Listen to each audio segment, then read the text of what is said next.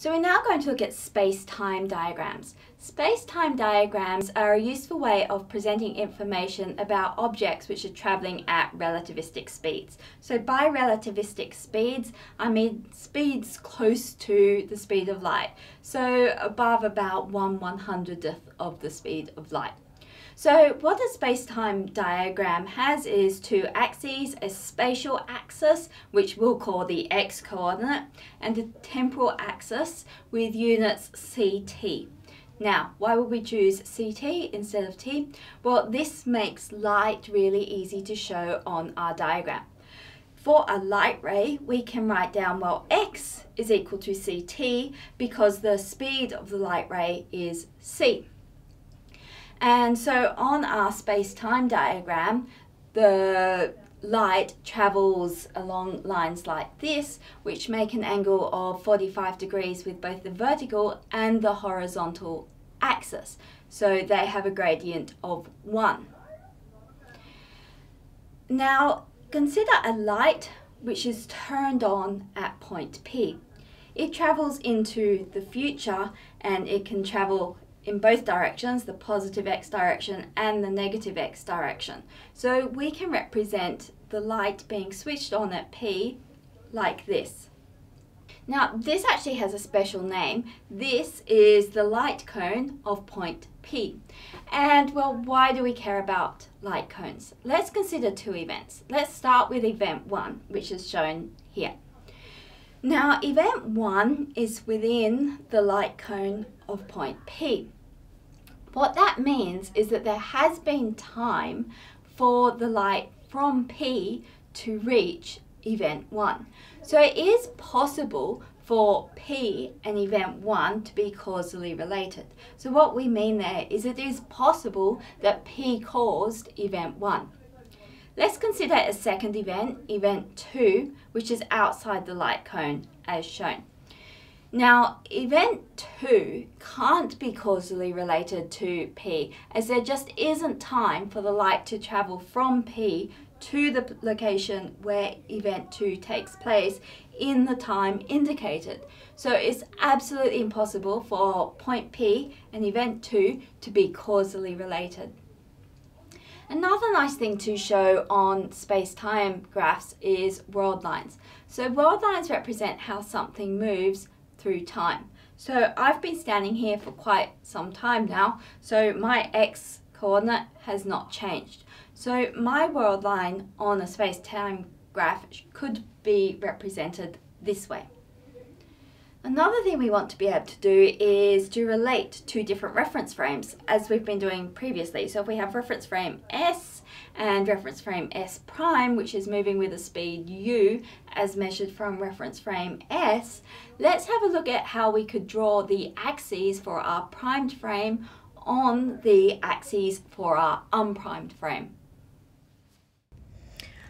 Okay, so here's our axis in the S frame and S prime is moving in X direction with speed u as measured from S. And what we want to do is work out, well, how do we draw the axes for S dash on this diagram? So first of all, let's just be really clear what the axes are.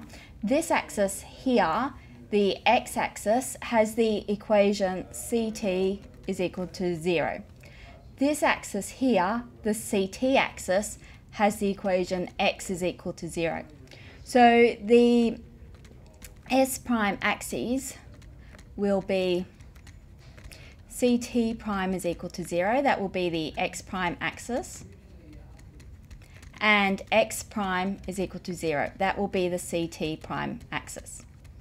So to relate these two, we'll need to use our Lorentz transform. So we've got t prime is equal to t minus ux on c squared over the square root of 1 minus u squared on c squared and we're going to want c t prime is equal to 0. So let's times this all by c and we can set it equal to 0. So what we have Now what we can do is just take this part of it and we'll multiply through by 1 minus u squared on c squared and because this side's 0 this part just disappears. So we end up with ct minus ux on c is equal to 0 which we can write as ct is equal to u over c x. So this is our y and this is our x. So u on c is the gradient of this line. So line with gradient u on c. So we can draw that on our diagram over here like this. This is the x prime axis and the gradient is equal to u on c. Okay, let's do our next axis. Our next axis is x dash equals 0, which is the ct axis. ct prime axis, sorry. So we've got x dash, which is equal to x minus ut over the square root of 1 minus u squared on c squared is equal to 0. Again, we'll just take this part of it, multiply both sides by the square root of 1 minus u squared on c squared, and we end up with x minus ut is equal to 0. So we can write this as well. X is equal to ut. Now we want this in terms of quantities on our axis. So we will actually both multiply and divide by c. So we can do this as u over c times ct. Because the c is multiplied here and divided here, so we're timesing by 1, so that doesn't change it. Okay, so what we want is this in the form of y equals mx. So we'll write this as ct, just rearranging. ct is equal to c over u x. So this is a line with a gradient c on u. So once again, we can draw this onto our diagram here. This and this angle are equal. This is the ct prime axis and the gradient is equal to c over u.